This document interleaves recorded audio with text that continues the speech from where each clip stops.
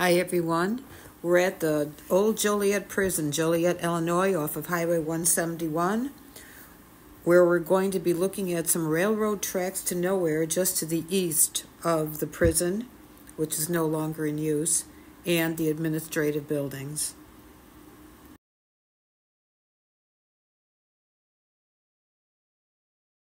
Got to be the ultimate railroad track to nowhere.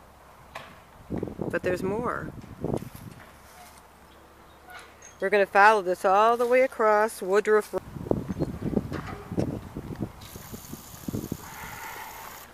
We're crossing Woodruff Road, just to the east of 171 in Joliet. And we're still following our railroad track to absolutely nowhere here.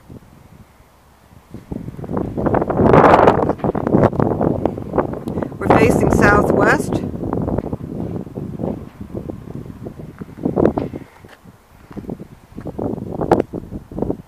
now we're facing northeast.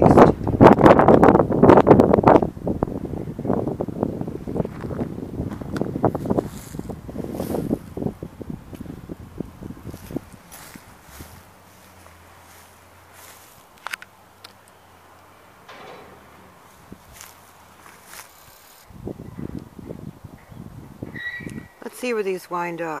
This is really quite amazing. There's actually two sets of tracks here buried in the woods.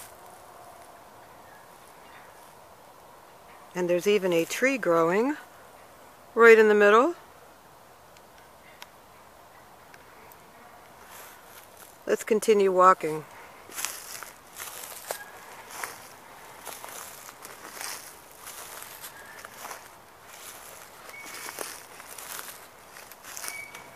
This is really quite amazing, folks. There's a lot of history here and lots of railroad tracks nowhere in Will County, Illinois.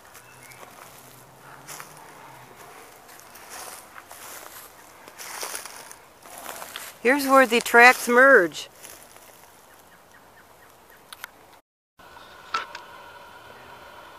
Our railroad tracks to nowhere here to the east of 171 in Joliet, Illinois. Seem to connect over here. Let's keep looking. Disappeared. We have some old rotted out cross ties.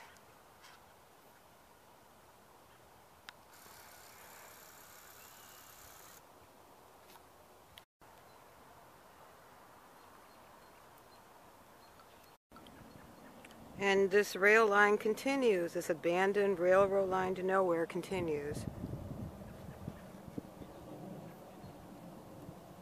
Alright, we've reached the end of the line here with that railroad track to nowhere. Apparently, at one time in history, it did in fact connect to this rail line, which I believe to be a Canadian National.